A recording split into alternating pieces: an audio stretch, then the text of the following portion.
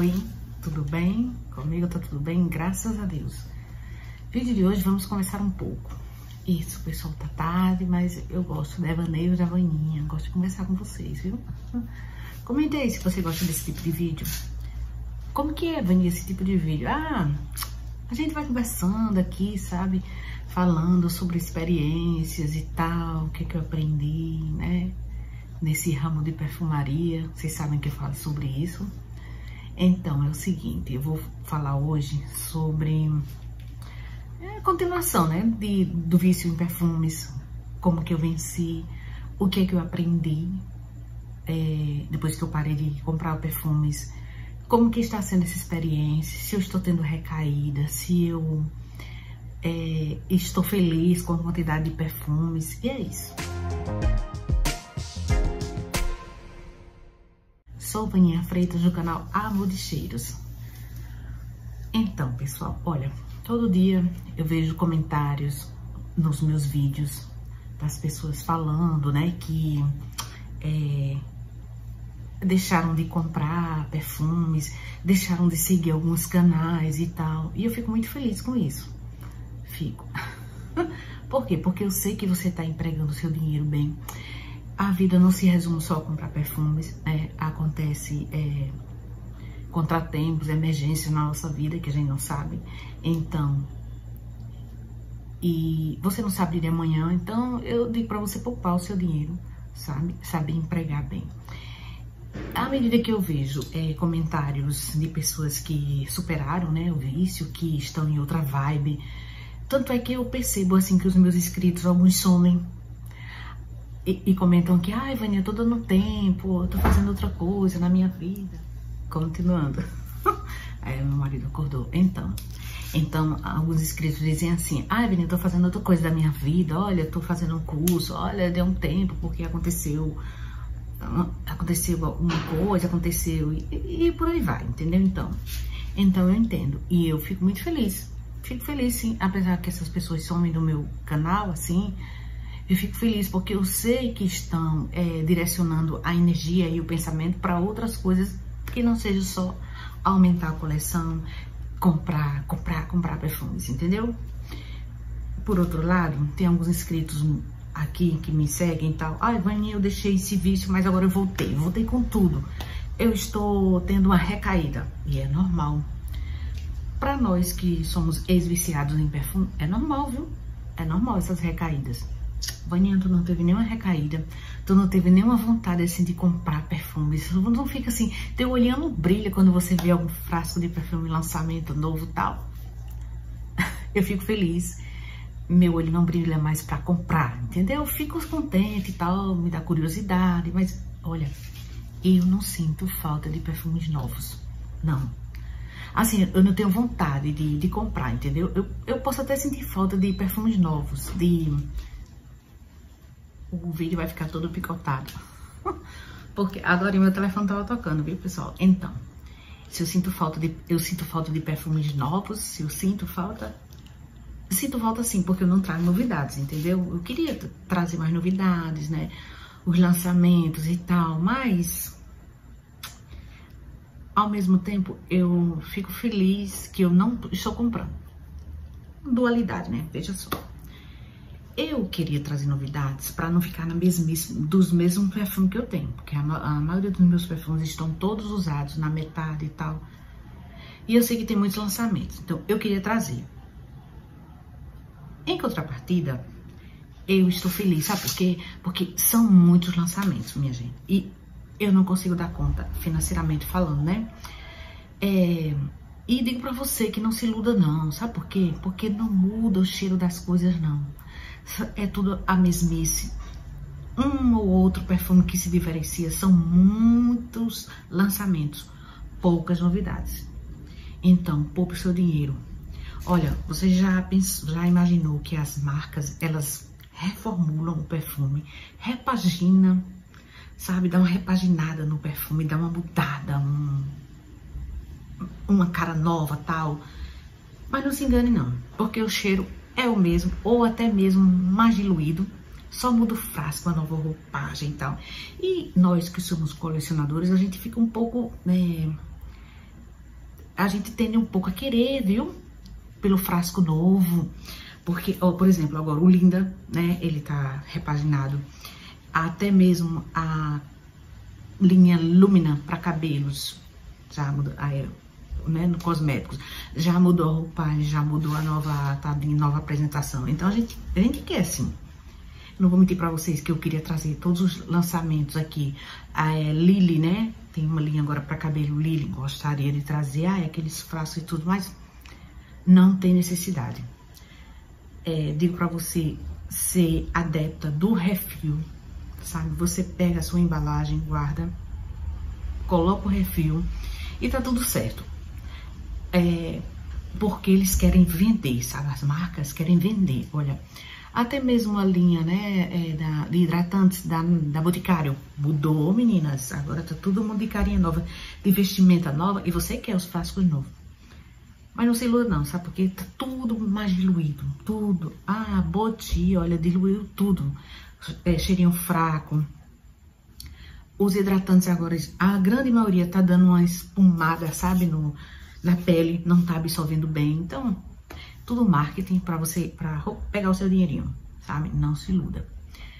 Continue no seu objetivo ali, ó. O importante é você ter foco, sabe? Eu, eu estou feliz, a minha coleção está reduzindo, eu estou conseguindo usar minhas coisas. Antigamente eu pegava um frasco de perfume, vinha dois, três caindo. É, seus perfumes venciam, chega, Alguns chegaram a vencer, mas não assim pelo tempo, entendeu? Acredito que foi questão de, de lote mesmo, olha. Dois Javon venceram, venceu também o da Natura, venceu também um perfume importado meu, chegou a vencer. Mulher, como é um perfume vencido? Olha, um dia que o perfume seu vencer, você vai saber como é, viu? Fica meio metalizado, meio vinagrado, fica diferente, principalmente a saída. A saída do seu perfume muda totalmente. Por quê? Porque as notas de saídas, elas são notas cítricas, frescas, voláteis. Então, eles perdem o frescor. Primeira coisa, perde logo o frescor da saída. Então, é isso, meninas. É, eu estou feliz, sabe, pela a quantidade que eu estou ficando. Eu acho, sabe, que uma coleção de 100 perfumes tá ideal. Para quem tem canal, 100 perfumes tá ideal, sim. Para você, dá para você fazer uma variada, uma boa variada nos seus, nos seus usadinhos. Dá para você comprar decante. Você não precisa pagar um rino, um perfume inteiro. Você pode comprar decante. Dou muito conselho, viu? Tenho fé que eu esse vídeo hoje. Quarta interrupção, minha gente. Como é que pode? Então, tava falando de quê? Pra você ser adepto de decante, né? Você não paga um rim e conhece o perfume. E por último, assim, para concluir esse nosso papo aqui, é, é, tenha foco na sua vida, tenha objetivo, sabe? É, muitos, muitos canais aí, muita gente vive disso, né? Da, de vender, de comercializar o perfume e tal, e, e fica ali influenciando outras coisas mesmo. Compras, compras, não só de perfumes, entendeu? O consumismo tá aí, sabe? Todo dia. A, a, é, você recebe todo dia uma enxurrada de novidades. Olha, compre, compre, tudo só se resume a comprar. Eu sei, Vaninha, tem que gerar economia. Meninas, deixa pra outra pessoa gastar, deixa pra outra pessoa fazer a economia girar. Poupe seu dinheiro. Eu, eu fico imaginando assim, sabe? Quando eu entrei assim no. Eu sempre gostei de muitos perfumes, sempre gostei de ter vários cheiros, mas não era desse jeito. Depois que eu tive canal, aumentou mais ainda a minha, a minha coleção, entendeu?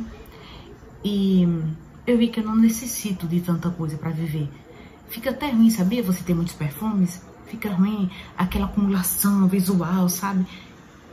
Os frascos me encantam, os cheiros me encantam, o, a perfumaria, assim, tira muita gente da depressão, sabe? Eu tenho alguns inscritos aqui que eram, é, estavam num nível, assim, que não, não, não, tavam, não estavam mais tomando banho, não estavam mais se cuidando eu recebo comentários assim: olha, Vaninha, você me incentiva a usar minhas coisinhas, você me incentiva a me, a me cuidar. Mas o cuidado não, não é só externo, entendeu? Não é só aparência, assim, você ter, é, você exalar um cheiro bom, você ser vaidoso. Olha, o cuidado está também no seu mental, entendeu? E à medida que você tá, não me diga que é uma pessoa viciada em comprar perfumes tem tranquilidade. Tá bem. Vê todos os perfumes. Vaninha, eu tenho condições, eu tenho dinheiro sim para comprar, eu guardo e tal. Eu sou uma pessoa é, financeiramente abastada, abastada. Eu sou uma pessoa financeiramente é, equilibrada. Eu tenho dinheiro para esbanjar, tudo bem. Eu tenho que guardar minha coleção, tudo bem. Não estou falando desse, dessa pessoa. Eu estou falando do vício. A partir do momento que você vê tudo e quer tudo, entendeu? E não se conforma e você compra, oh, olha, você compra um perfume, você nem cheira, ou você dá só uma cheiradinha e deixou ele ali e já fica pensando no próximo, na próxima compra, isso não, isso não tá saudável. Isso aí chama-se compulsão, oniomania. Você está viciado em fazer compras e precisa ser tratado. E você precisa sim de ajuda, entendeu?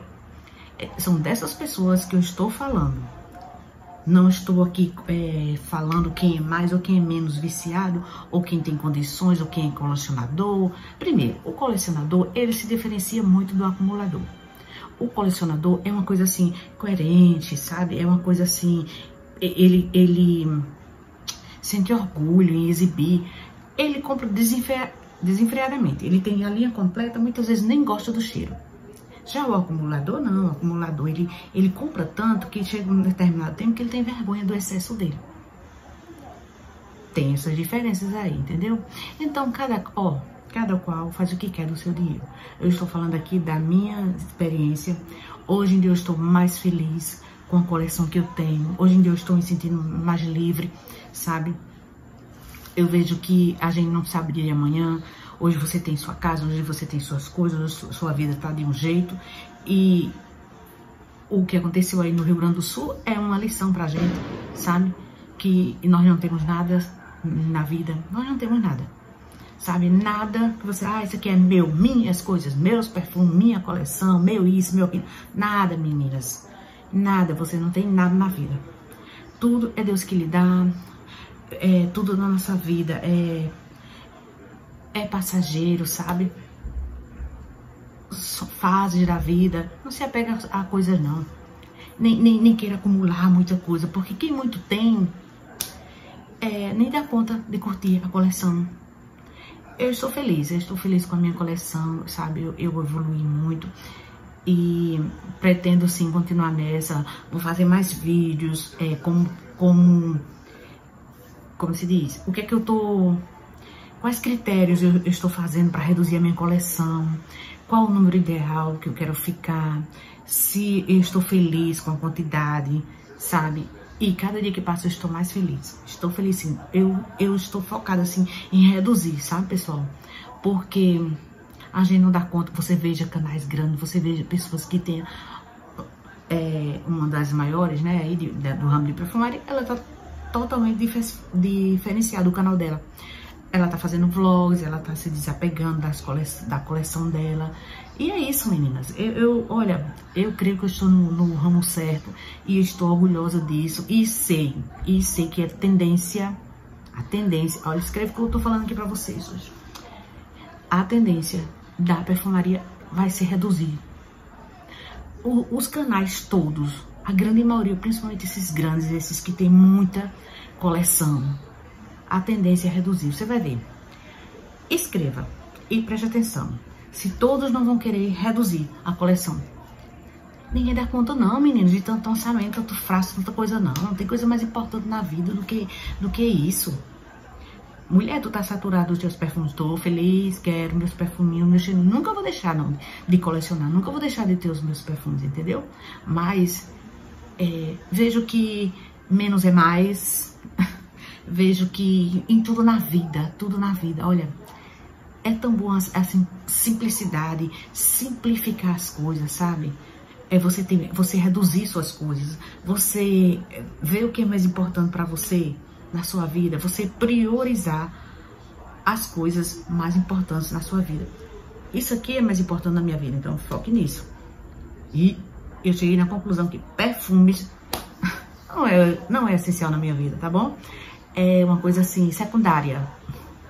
Conheci muitas pessoas aqui, gosto das cheirosas e tal. É, gosto de vídeo de comprinhas, alguns, algumas. Nem vídeo de comprinhas eu estou mais, sabe, meu olho não brilha mais pra ver. Eu fico aflita quando eu vejo muita coisa. Eu fico aflita quando eu vejo uma coleção enorme. Antigamente eu queria, ai, ai, quero chegar nesse número. Ai, que coisa ideal, que coisa, ai, que coleção, como é que eu dizia quando eu comentava por aí. A visão do paraíso. Não. Hoje em dia me dá aflição quando eu vejo muita coisa. é isso, meninas. Veja como, como que eu evoluí, eu acho, sabe? Eu acho que eu estou no caminho certo. E vocês, como estão? Estão comprando muito? Estão felizes com a sua coleção? Como é que tá aí? Comente aí, viu? Foi o que você fez para parar de comprar? Se por acaso você sumiu do meu canal, do meu canal não apareceu, eu sei que você não tá mais nessa vibe de perfumaria, eu sei que você não tá, mas apareça para me ver, apareça para dar um comentário, sabe? Escolha assim um título que é, que você se identifique e dê um oi aqui pra mim, tá bom? É isso, meu povo. Um beijo, viu? Até o próximo vídeo. Não cesse em comentar, compartilhe o vídeo, que mais? Se inscreva no canal se você ainda não for inscrito. Perdoe o vídeo picotadinho, viu, gente? É porque eu, eu tive que parar aqui. Eu, eu parei, no mínimo, quatro vezes aqui para gravar esse vídeo. Beijo. Fui.